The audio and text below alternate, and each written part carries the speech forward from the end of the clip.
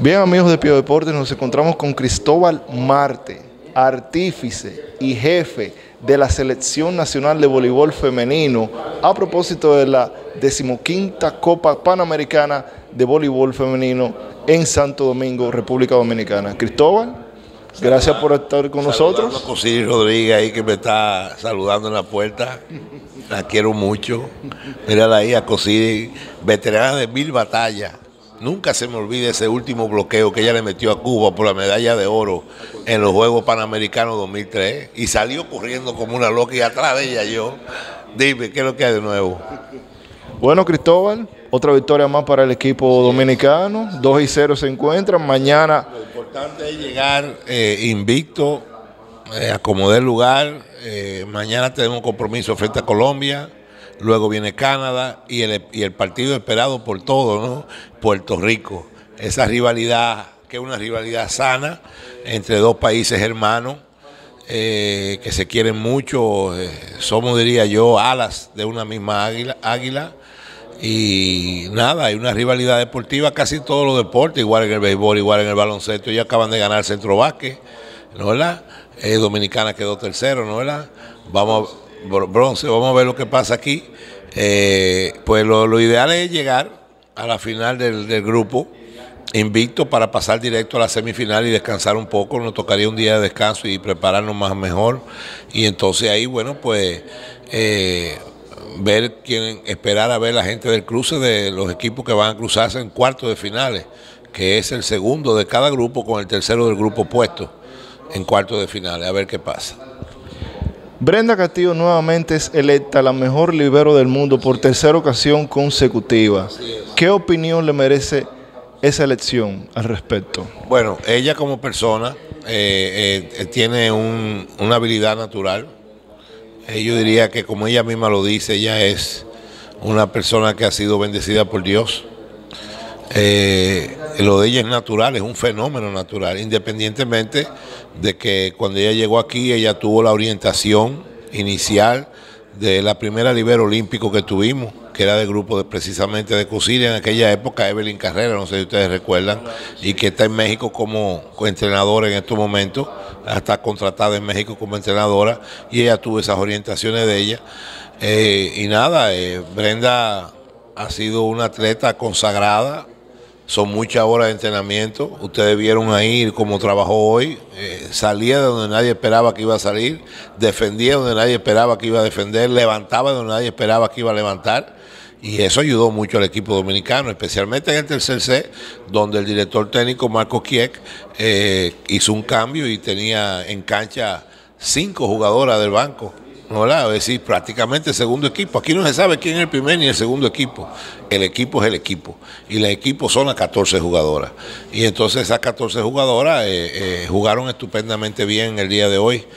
Al principio tuviste que hubo que hacer algunos ajustes en el primer set. La recesión no nos funcionó como esperábamos, pero después el equipo estaba bien, bien sincronizado. Y Brenda eh, es parte clave, todas son parte clave, pero lo de Brenda Castillo es extraordinario. Igual, si tú recordarás, acabamos de llegar del Gran Premio Mundial donde ganamos el grupo 2, eh, medalla de oro, y el alibero que andaba ahí era Winifred Fernández de Santiago, que lo hizo muy bien y que, y que jovencita, lo que tienen son 20 años, 4 años menos, todavía le quedan 4 años para llegar donde está Brenda. Es decir, que tiene bastante tiempo. Y también, como digo yo, el balance y la paz del equipo. Calladita, nadie le pone atención, nadie la toma en cuenta, pero ese es el trabajo que vale. Esa paz que ella le lleva a toda la jugadora, esa seguridad cuando ella te engancha que ella le lleva a todo el mundo y, esa tranquilidad. Y me refiero a Ana Yorkira Biné Estefan de Samaná. Eh, esa muchacha para mí tiene un servicio flotado extraordinario, una persona bella, una bella persona. Eh, oye, me son muchas características positivas, de todas, pero estoy hablando específicamente de lo que me preguntaste. Situación con Cándida Arias, supimos que fue recientemente operada y que la operación tuvo que ser costeada por usted mismo, ya que el seguro lamentablemente no cubrió esa parte. ¿En el futuro se estimaría eh, que vaya a otro seguro para que no vuelva a ocurrir este tipo de problemas? Fíjate, cuando yo llegué del Mundial, eh, eh, llegué muy molesto. Estoy hablando en el 2015, cuando llegué del Mundial en septiembre de Puerto Rico. Llegué muy molesto y me disparé y dije lo que pensaba y expresé mi molestia ante la opinión pública y la colectividad deportiva nacional en el aeropuerto. Después de eso yo reconocí que no era el lugar, no era el momento y no era la forma. Entonces yo prefiero no hablar de eso, porque cada vez que yo hablo, yo me siento cohibido, yo quisiera decir muchísimas cosas, pero si yo digo aquí por este medio, por Pío Deporte, todo lo que yo tengo, de, todo lo que yo siento y que quiero decir, me voy a buscar problemas. Entonces, ¿para qué buscarme problemas? Ya se resolvió. Hay un seguro muy bueno que se llama SRL CMH. Yo te invito a ti a que te afilie a ese seguro. SRL Cristóbal Martes Office CMH, un seguro extraordinario, muy bueno, por cierto. Y ahí están los resultados. Cándida la operamos, eh, salió bien, es lo importante los médicos están satisfechos con, su, recuperación, ya le quitaron la grapa, está sequecita, no hay pus, no hay infección, gracias a Dios, a la Virgen de la Altagracia, está, está protegida, quedó muy bien, yo me alegro muchísimo, fui con Luisín Mejía, eh, Luisín me pidió, que ese siempre lo apoya, que la llevara, lo llevara a su casa.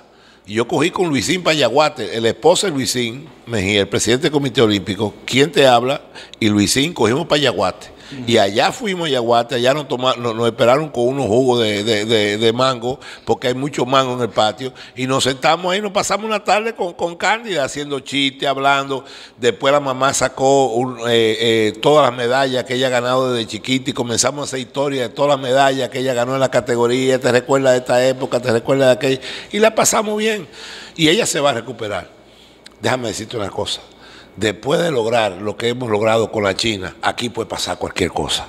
Óyeme, cualquier cosa puede pasar, porque nadie pensaba, y todo el mundo me decía, tú estás perdiendo tu tiempo, tú estás perdiendo tu dinero, que la China iba a volver a jugar en la forma que está jugando, o que iba a volver a jugar. Y la China está igual o mejor que antes. Y óyeme, fueron tres operaciones, tres operaciones, inclusive eh, nosotros pensamos, antes de terminar este evento, le vamos a entregar un reconocimiento, ya yo anuncié hoy, al doctor Julio Chavarría, el peruano, que la operó de emergencia y que lo único que tuve que pagar fue cuando allá en Perú, que ella tuvo que esperar cuatro días para que llegara la barra de titanio que se le, insertó en su pierna desde Canadá, que es donde la venden, fue lo único que tuve que pagar. El señor no me cobró ni la clínica, la operó en su propia clínica, ese que anda ahí tiene su propia clínica, así como tú lo ves, y él le gusta el deporte. La operó en su propia clínica y cuando fui a pagar, se, molestó conmigo, no, no me aceptó que pagara, solamente lo, lo, de la barra, porque era en dólar y era fuera del país. Óyeme, eso hay que agradecerlo y yo creo que no mejor momento que este para agradecerlo. Y, voy a poner a la misma China que le entregue el, el, reconocimiento. Entonces, después de lo de la China, cualquier cosa es posible. Y eso es seguro, bueno, el día que las autoridades deportivas gubernamentales consideren oportuno para no pelear, consideren oportuno, consideren conveniente, consideren correcto, consideren eh, todo lo que tú quieras, con flores, eh, eh, rosas y sin espinas. Antes había un programa que decía rosas, espinas, ¿te recuerdas? Entonces, sin espinas, bueno, pues cuando ellos lo consideren oportuno, conveniente y lo que ellos quieran, entregarán un seguro adecuado para el atleta dominicano, porque no son solamente las del voleibol, ¿eh? que quede claro, porque no vayan a pensar que es un problema dirigido al voleibol. No, el y no es de ahora, ustedes recordarán, ella que está ahí, lo que pasó con Cosini Rodríguez, o se le olvidó. No, entonces, entonces, pero usted ahí también funcionó en parte SRL, SMH y resolvió. Y ya, porque es que si tú tienes, mira, un carro público o un taxi andar en la calle sin un seguro es un peligro, porque lo que más le puede pasar a un carro público o un taxi es que choque porque está en la calle las 24 horas. Entonces tiene que tener un seguro. Un atleta está brincando, atacando, tiene que todo el tiempo dando brinco. Lo más seguro que se le dobla un tobillo, sufre una lesión en, en una rodilla, se le daña un hombro, una muñeca o lo que sea. Entonces tienen que tener un seguro entonces es insólito, es insólito que un atleta de la República Dominicana no cuente con un seguro adecuado. Pero no voy a pelear. Yo estoy feliz como una lombriz. No voy a pelear porque si comienzo a pelear y decir todo lo que pienso, me voy a buscar problemas. ¿Y para qué buscarme problemas? Me va a dañar la felicidad. Estoy feliz, estoy muy contento con el equipo, estoy contento, con, muy contento y agradecido del presidente de la República. Estoy feliz por el apoyo que el pueblo dominicano le ha dado a las muchachas yo me siento como una de ellas. Cuando yo veo que ese público se para y las aplaude, las goza, se tiran fotos, yo me quedo admirado. Es increíble, es increíble lo que el, país sigue y quiere a esas muchachas. Se han convertido en un símbolo nacional. Yo creo que la reina del Caribe es una marca país. Es una marca país. Ya por último, don Cristóbal, un mensaje que le quiera dejar a la fanaticada dominicana del voleibol en, especial siempre está pujando por las reinas del Caribe. Bueno, todo el mundo espera, yo no sé, pero todo el mundo espera el día 6. Ese día 6 va a ser un día histórico en este país.